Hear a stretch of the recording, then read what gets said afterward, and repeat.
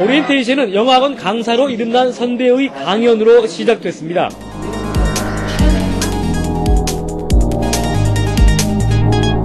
여러분 영어 청취의 결판을 내드리겠습니다.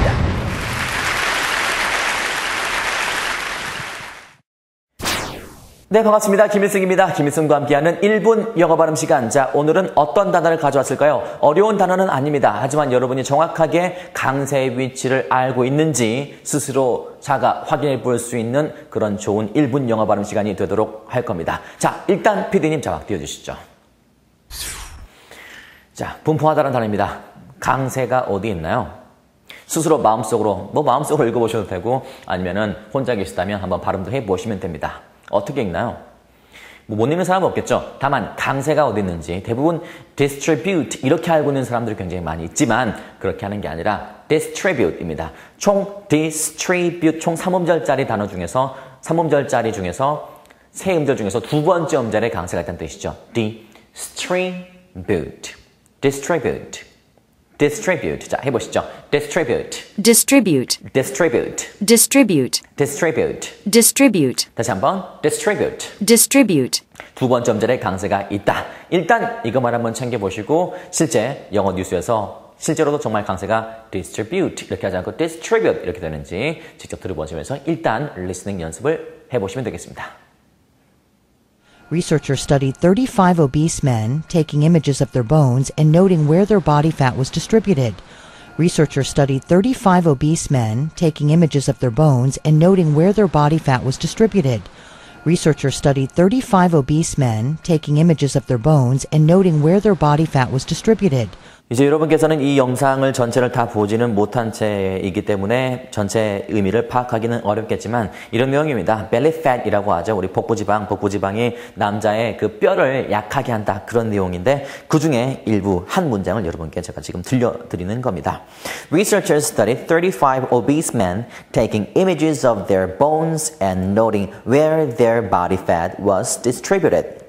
Researchers studied 연구원들이 뭘 연구를 했냐면 35 obese men입니다. 35명, 35명의 비만의 남성들을 연구했네요. 뭐 하면서 taking images of their bones 그들의 뼈의 이미지도 촬영을 해보고 그리고 and noting where their body fat was distributed. 그들의 체지방, body fat이 어디에 분포되어 있는 위치도 잘 기록을 하면서 연구를 했나 봐요.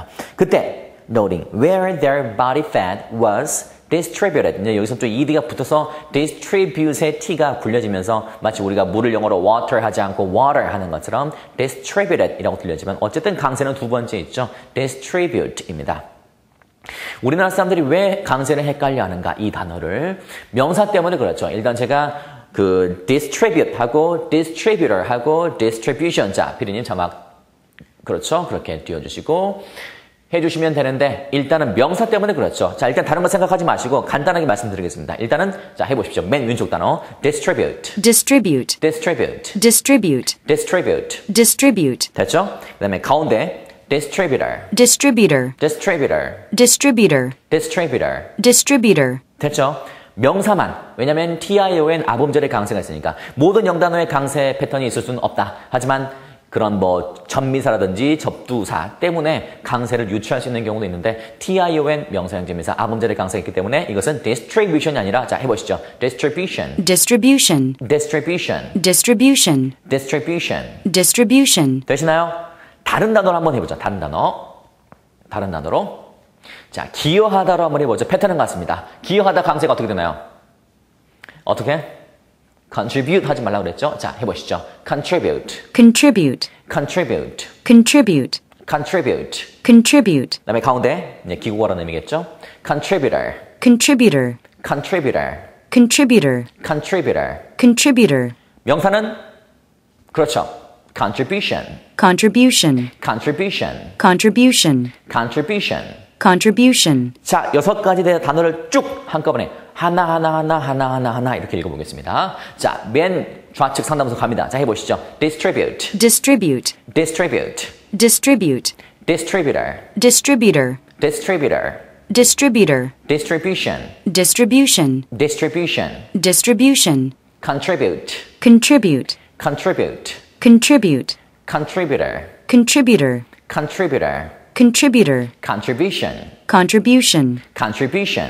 contribution, 핵심은 다 두 번째 음절이 강세겠다. 헷갈리지 말고 다 두 번째 음절이 강세했는데 TION 명사형 전미사 때문에 그 명사 형태만 그 앞음절에 강세가 나머지는 다 두 번째 강세고 명사만 세 번째 음절에 강세가 있다. 이렇게 알고 있으면 이 여섯 가지 단어 모두의 강세를 익힐 수 있을 뿐만 아니라 강세 패턴 하나도 배울 수 있는 좋은 1분 영어 발음 시간이 되었다고 생각됩니다. 여러분 헷갈리지 말고 여러분이 알고 있는 단어 정확한 강세, 정확한 스트레스를 통해서 여러분의 발음을 한껏 다른 나라 사람에게 잘 알아듣기, 알아듣게끔 그렇게 발음을 해보시면 되겠습니다. 자, 1분 영어 발음. 오늘 단어는 distribute 이었습니다. 다음 영어, 다음 1분 영어 발음 시간 때 또 인사드리도록 하겠습니다. 지금까지 김일성 강사였습니다.